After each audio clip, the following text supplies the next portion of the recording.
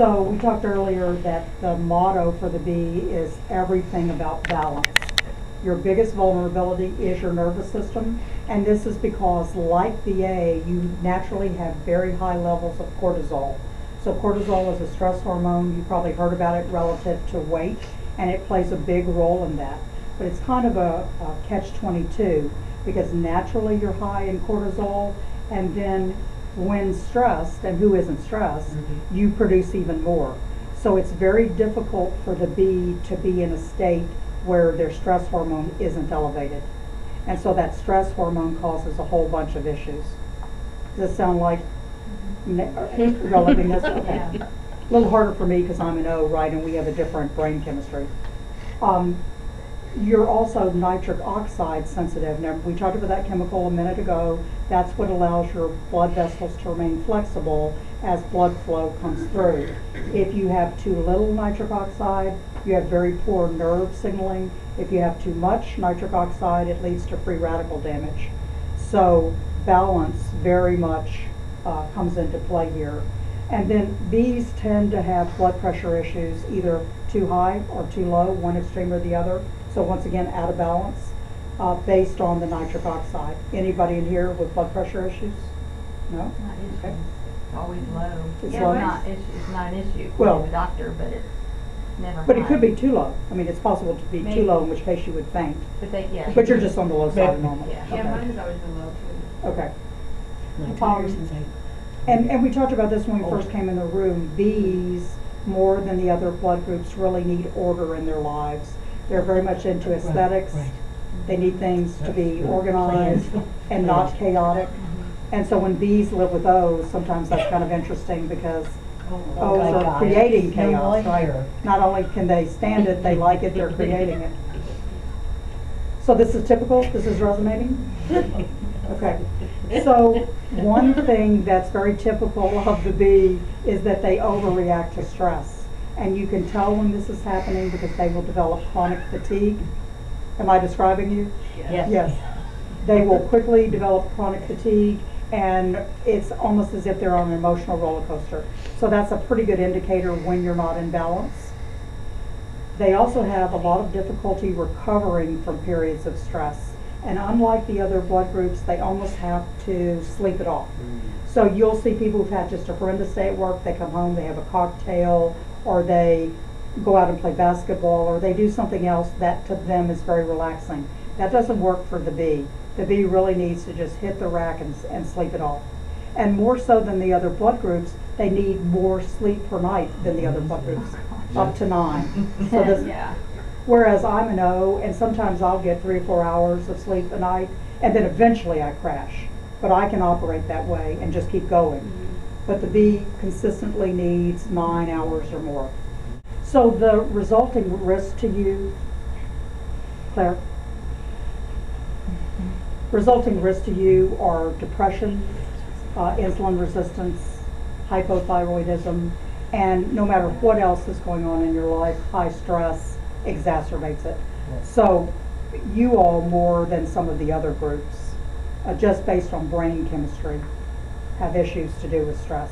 So it should be very clear that all the actions you take in your life should be about getting in balance and controlling stress as best you can, right?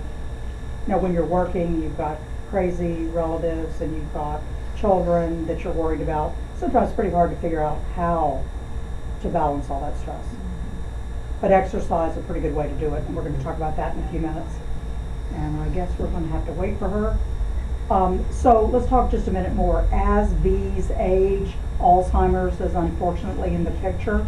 So that's a very good reason to get on a better diet and to try to control that stress than for some of the blood groups. Because Griffin will tell you it's not fun. So tell them what they're getting.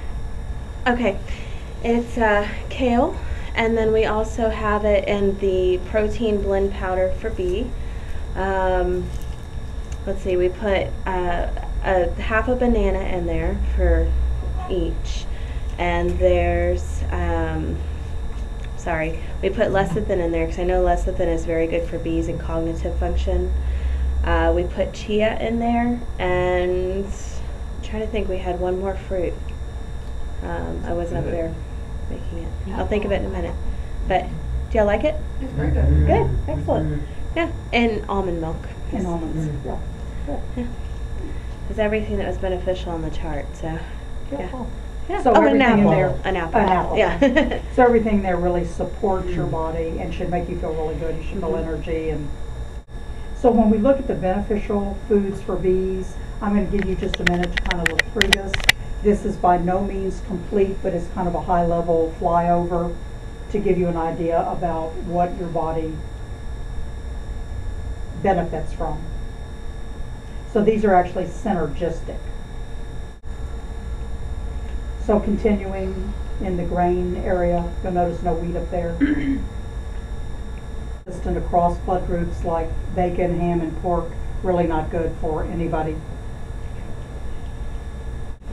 So lots of, you know, wheat, uh, grain kinds of products, a few veggies.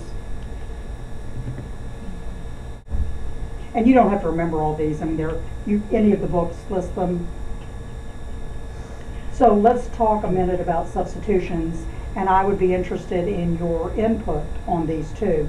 So if you can't eat chicken, what about turkey as a substitute? Not exact, but it's close. Tomatoes, the DOU means depends on usage, so you, you can't really replace the tomato out of the garden that you're gonna slice. But if you're cooking with something, you could use green chilies instead of crushed up tomatoes as a possible substitute. Lentils, maybe black-eyed peas. So B is for balance. Go forward. Now, we were talking just a little bit about the genotyping. So, good resource here. Anything you would want to know about, they know. Um, I trust everything they say, and I use them mostly for my own nutritional advice. So I try to get tested to see what's gone crazy in the last 30 days every time I come in.